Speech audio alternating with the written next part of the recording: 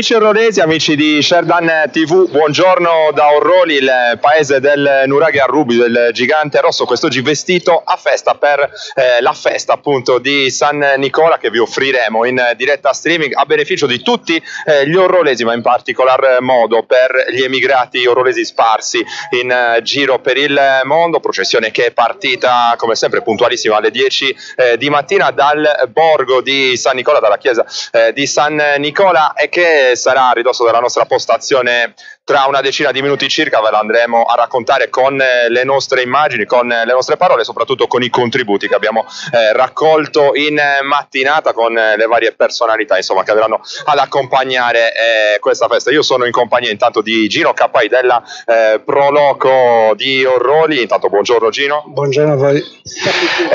Dicevamo Proloco di Orroli che ha un ruolo importantissimo in questa festa, la festa di San Nicola che in origine era davvero molto importante, molto sentita, per un periodo storico è caduta un po' nel, nel dimenticatoio, è stata un po' abbandonata, però l'attuale Proloco presieduta da Giampaolo Meleu ha avuto il merito di riportarla in auge e oggi insomma vediamo un paese davvero vestito a festa ed è una festa questa sentita davvero in particolar modo da tutta la cittadinanza. Sì, abbastanza, da un paio di anni da questa parte la Proloco si è interessata nella festa, soprattutto in questo borgo eh, medievale con diversi gruppi medievali, alcuni anche gruppi folk. Eh, la processione, sentita soprattutto dai cittadini, eh, viene seguita in, in modo abbastanza evidente.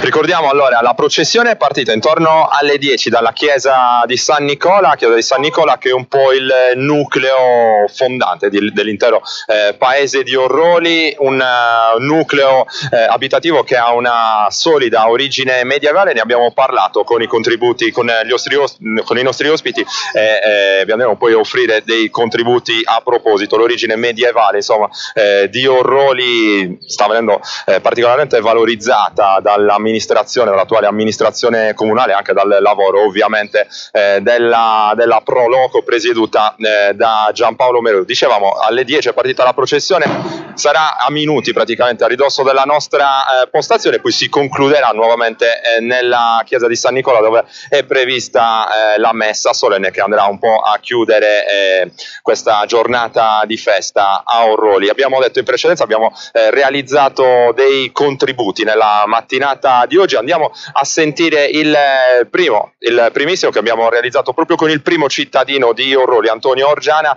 eh, che ha parlato in generale di questa festa, di quanto sia sentita dai cittadini orrolesi e di quanto sia importante anche dal punto di vista della valorizzazione del borgo, merdi, del borgo, del borgo medievale eh, scusate, di Orroli si rinnova la, la, tradizione della festa di San Nicola che anche quest'anno ha chiamato a raccolta davvero tutto il paese. Sì, questa festa di San Nicola sta emergendo con una determinazione unica, appoggiata da tutta la popolazione, ma in particolare dalla Proloco di Orroli, ed è quel comitato che è rappresentato dalle persone che abitano nel rione di San Nicola.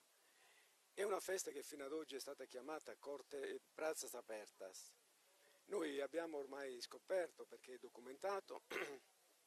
perché poi ci hanno riconosciuto, che di fatto questo quartiere di San Nicola è un borgo medievale. Un documento del 1420 lo attesta, nel 1409 è stato riedificato. L'anno prossimo la chiameremo Festa di San Nicola, borgo autentico. Quindi questa sarà la novità. Non più Prazas Apertas, ma quello che di fatto è questo quartiere, questo primo nucleo urbano di Orroli, che ormai appartiene a Borghi Autentici d'Italia e quindi partendo da questa appartenenza noi vogliamo chiamare la festa del Borgo di San Nicola. Si allarga quindi anche l'offerta, se vogliamo, turistica del paese, bellezze naturalistiche, bellezze storiche, eh, a partire proprio da questo quartiere medievale. Oggi tutto quello che oggi Orroli ha a partire dalle chiese, a partire dal Nuraghe Rubio, a partire dal museo, dalla biblioteca, sono aperti. Quindi noi ci rivolgiamo al vasto pubblico, a quel pubblico che ci deve aiutare a crescere, che arriva da tutte le parti, non solo della Sardegna, ma anche dell'Italia e perché no dell'Europa, visto che qualcuno comincia ad arrivare, ci conosce, ci apprezza e dà un autentico valore alle bellezze naturali che noi abbiamo. Quest'oggi con la nostra diretta ci rivolgiamo anche agli emigrati orrolesi in giro per il mondo. Possiamo raccontare anche che anno è stato per Orroli eh, questo inizio di 2017?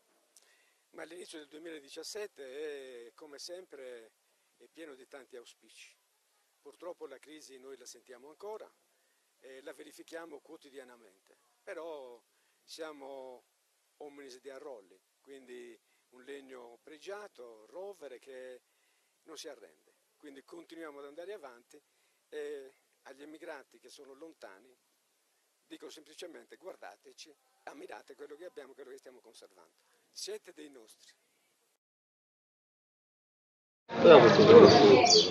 Allora abbiamo sentito le parole del primo cittadino di Orroli, Antonio Orgiana, che ha presentato anche eh, una novità importante, l'avete sentita, per l'anno prossimo, volta proprio a valorizzare il cuore eh, medievale di Orroli. Io sono sempre in compagnia di Gino Cappai della eh, Proloco di Orroli. Gino, una curiosità, quanto tempo eh, vi impegna insomma, l'organizzazione di una, di una festa come questa? Allora, sono di, diversi mesi, si parte da fine febbraio con l'acquisto e il comitato, poi insieme alla Proloco decidono tutto il percorso da fare, come si organizza la festa. E tutto questo grazie al contributo dei cittadini che danno tramite l'acquisto il loro contributo.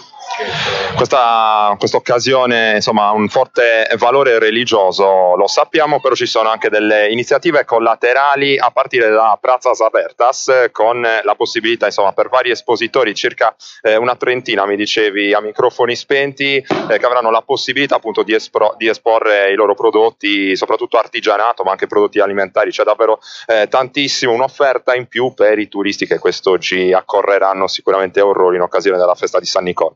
Sì, è una vetrina degli espositori di paese, non solo che con i loro prodotti mettono in mostra il loro saper fare.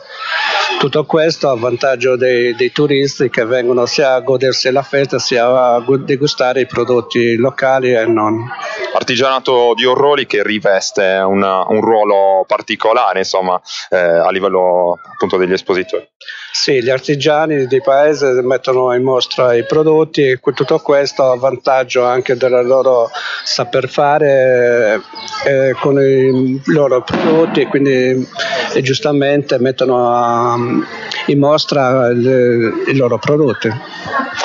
Allora, abbiamo eh, insomma, presentato un po' quelli che sono i temi di questa festa di, di, San Nicola. Abbiamo detto, riportata in auge dalla Proloco di Orrori, la Proloco Nuraghe Arrubiu del presidente Giampaolo Mereu, ormai un abitué insomma, anche eh, di Sherdan TV, l'abbiamo sentito in varie occasioni anche lo scorso anno, sia per la festa di San Nicola che per quella eh, di Santa Caterina, entrambe ve le offrimmo in eh, diretta streaming sempre eh, su Sherdan TV e allora andiamo a sentire proprio cosa cosa eh, ci ha detto questa mattina Giampaolo Mereu, erano le 8 di mattina, praticamente il paese eh, si svegliava dopo eh, una nottata di preparativi fino a tarda ora, andiamo a sentire Giampaolo Mereu. Sono le 8 di mattina e il paese di Orroli è già in fermento per la festa di San Nicola, anche da questo si capisce l'importanza per gli orrolesi di questo, di questo appuntamento importante. Sì, da prima mattina perché stanno arrivando gli espositori, quindi stanno preparando tutto per la riuscita di questa festa e quindi in questo momento c'è un po' di, diciamo, un po' di, di movimento, sì. Giampaolo Mereu, lo ricordiamo, presidente della Proloco, Proloco di Orrori, che ha riportato in auge questa festa per un certo periodo della storia, era caduto un po' nel dimenticatoio, però voi ne avete recuperato l'importanza e il paese partecipa sempre con grande entusiasmo. Sì, in questi ultimi 20-25 anni abbiamo recuperato questa festa, che erano delle feste forse anche più grandi di, di Orroli, sita qui sulla zona storica, molto seguita anche nell'antichità perché era una festa magari con grande pellegrinaggio da parte delle, dei paesi vicini e noi abbiamo ripreso oh, questo San Nicola proprio per portarlo come era nei vecchi tempi, nel Medioevo e queste cose. Importante quest'oggi anche con la diretta raggiungere gli emigrati, un po' questo l'obiettivo e immagino ci siano anche i saluti della Proloco. Sì, anzi dico che prima saluto veramente gli emigranti di Orroli, sanno che oggi c'è San Nicola, quindi aspettano proprio la diretta streaming per vedere, perché essendo lontano dalla Germania, diciamo in tutta l'Italia, loro aspettano veramente questa diretta stamattina. Quali sono i prossimi appuntamenti a Orroli e della Proloco di Orroli? Il prossimo appuntamento di Oroli è la Sagra di Santa Caterina che ce l'abbiamo il 9, il 10, 11 di, di giugno, un altro grande evento, un'altra grande sagra che ospita migliaia di persone con grandi gruppi folk, trackers e cavalieri che arrivano da belle parti della Sardegna.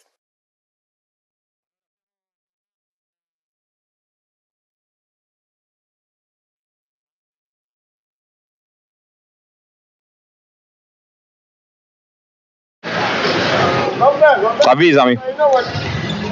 Siamo tornati in diretta, allora eh, da Aurori siamo in attesa del passaggio eh, della processione di, eh, della festa di San Nicola, processione che verrà aperta dal passaggio dei cavalli, poi ci saranno le traccas quindi i gruppi medievali, quest'oggi sono presenti due, quello di Guasila e quello di Villapuzzo, dopodiché sarà la volta appunto del passaggio della processione vera e propria con eh, il, il santo che verrà eh, accompagnato fino alla chiesa di San Nicola dai eh, fedeli. Un'occasione questa insomma anche per riscoprire il nucleo fondante del nel paese di Orrori, appunto il borgo di eh, San Nicola, la vecchia Orrori, ricordiamo, aveva origini molto antiche, risalenti a epoca eh, nuragica. L'abitato poi cominciò a spopolarsi nel 1300 48 in seguito a una grave eh, pestilenza di portata europea con eh, molti paesi dell'intera eh, Sardegna che scomparvero. Orroli po- fu poi eh, riedificata e ripopolata dopo il 1409, l'attuale abitato e dunque di età medievale a tutti gli effetti, fatto questo che è certificato anche da un documento del 1420 che appunto attesta che eh, Orroli è una villa noviter edificata villaggio riedificato di recente. A questo punto la storia si innesta con la leggenda di fondazione del paese, secondo la quale circa 600-700 anni fa alcune famiglie di Maureddinus provenienti dall'Iglesiente si sarebbero insediate attorno alla chiesa di San Nicola, dando vita alla nuova Orroli. Intanto vediamo in lontananza che iniziano ad arrivare i primi cavalieri, dopodiché, come detto, sarà la volta delle traccas e quindi ci saranno poi i gruppi medievali. Stiamo ripercorrendo la storia del borgo di San Nicola su